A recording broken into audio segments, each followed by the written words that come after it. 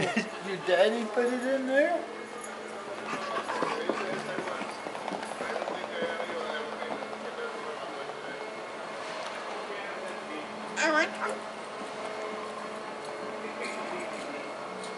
Okay, go out, go out.